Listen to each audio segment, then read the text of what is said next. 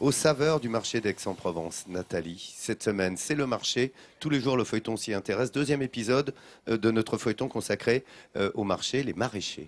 Alors le marché, il se trouve dans le quartier Saint-Sauveur, ici, sur la place Richelme euh, de Aix-en-Provence. On y vient tous les jours avec vraiment beaucoup de plaisir. D'abord parce que la place est magnifique et qu'on a des produits de qualité. Mais quand on sait qui les cueille avec amour, les fait pousser avec euh, bonheur et vous les propose avec une grande générosité, c'est encore mieux. On va donc découvrir Magali et son père Paul Francis. Ils sont tous les deux maraîchers. On va voir avec eux comment ça se passe quand on est maraîcher entre père et fille, hein, parce que c'est pas toujours facile en famille.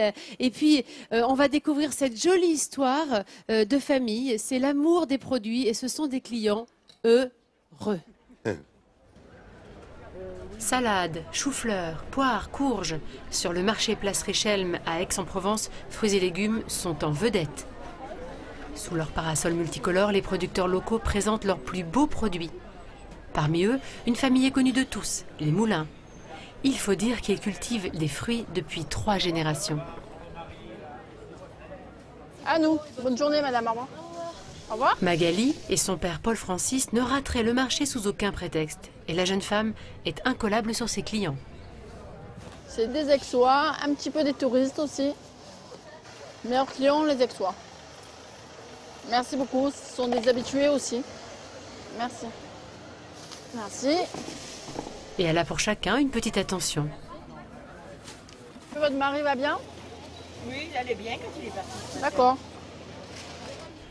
Sur l'étal, des prunes, des poires, des pommes, du raisin, des fruits frais en provenance directe de l'exploitation familiale située à seulement 10 km d'Aix-en-Provence. Chaque jour, Magali et Paul Francis cueillent les produits qu'ils vendront sur le marché le lendemain matin. Et pour cueillir le raisin, la technique est particulière. Il faut qu'il soit noir normalement, il faut pas. Et après qu'elle en ramasse, vous voyez, s'il y a des petits grains rouges, des petits grains abîmés, le, bout est pas joli, on le coupe. Ce petit duvet qui a sur le raisin, si on le touche, vous voyez, hop, ça enlève, on appelle ça la fleur. normalement, il faut que la fleur, il faut la laisser, il faut, faut pas prendre la grappe dans, dans la main, à pleine main. Il faut toujours la tenir par la queue. Car toucher la grappe abîme le raisin. Une belle entente règne entre père et fille. Magali vend sur le marché d'Aix-en-Provence et son père sur celui de Venelle, la commune voisine, ce qui crée une petite concurrence entre eux. Il vous faudrait venir au marché de Venelle le samedi vous verrez un peu la, vous verrez la, queue qu'il y a devant mon étalage. De 10h à midi. Mais il faut voir la queue qu'il y a le samedi chez moi aussi. Pas croire. Une fois la récolte terminée, il est temps de charger le camion pour le marché. Magali et Paul Francis sont plutôt bien organisés. Ils savent exactement quelle quantité de fruits ils doivent amener. On a un peu l'habitude en fait. On sait ce qu'on va et on essaye.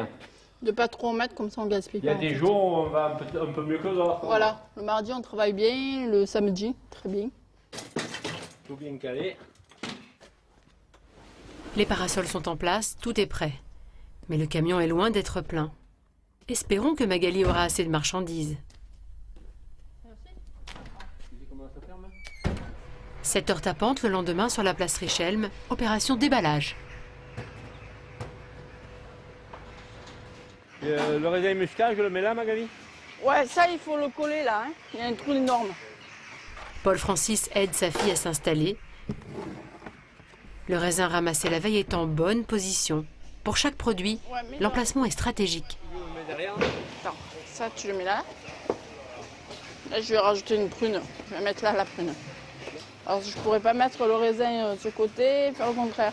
Euh, je pourrais, mais après, ça fait trop de verre à côté de ça. Là, ça fait beau comme ça. Autour de Magali, les autres marchands prennent place aussi. Entre eux, l'entraide est au rendez-vous. Romain Oh, Magali, Magali, Magali. Tu aurais un petit cajou plus petit que ça Ah, c'est que tu veux, Magali.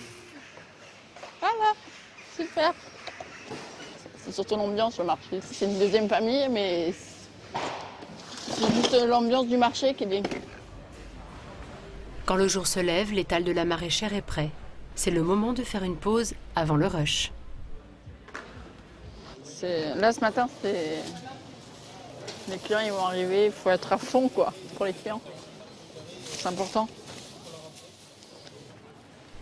Juste le temps de reprendre des forces et les clients sont déjà là, surtout les plus fidèles. Il y a quelqu'un qui fait des, des bons, des bons fruits. C'est toujours des bons produits et qu'on n'est jamais déçu en fait.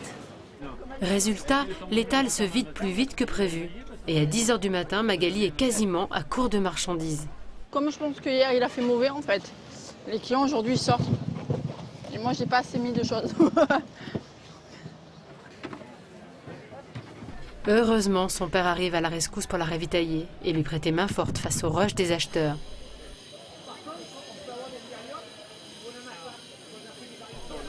Les caisses se vident de plus en plus et une heure avant la fin du marché, Désolé, c'est tout vide.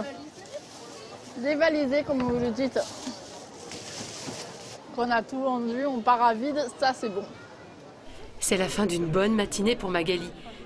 Demain, elle prévoit déjà d'augmenter son stock pour ravir tous les gourmands de Provence. Regardez comme c'est mignon. Voilà, quand je vous disais que sur cette place François Villon, eh bien on y vient. On y vient en couple, vous voyez.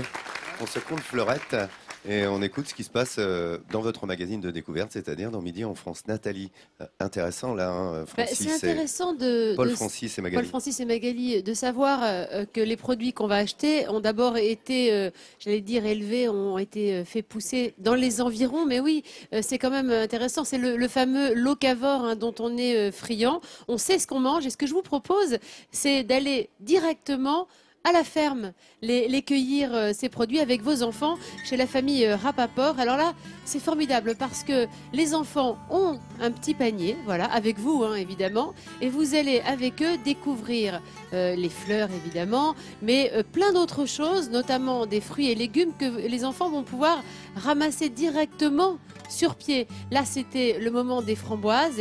Et regardez comme ce petit garçon se régale parce qu'il découvre que les, framboises ne poussent pas en barquette, hein, mais euh, il les déguste. Et puis, euh, il y a un autre moment que je trouve assez ag- agréable euh, après ces framboises ou ces fraises, c'est le moment de la cueillette des salades.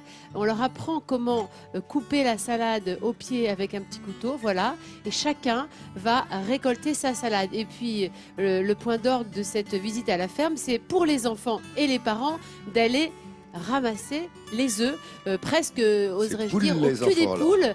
Et ça encore, c'est un geste euh, presque séculaire que les enfants ne connaissent plus du tout. On va plus à la ferme chercher les œufs. Là, c'est possible. Et puis, euh, point final, la petite tétée comme ça, à, ce- à cette petite chèvre, c'est trop mignon. Et on passe à la caisse, on est heureux, on a des produits qu'on connaît, on les a cueillis soi-même et je trouve que c'est une vraie belle euh, initiative. Ça se fait un petit peu partout en France et ici à Aix euh, également. Merci beaucoup Nathalie. Feuilleton consacré donc aux saveurs des marchés de Provence tout au long de la semaine. Mm. hein, vous saurez tout euh, de ce marché Richelme.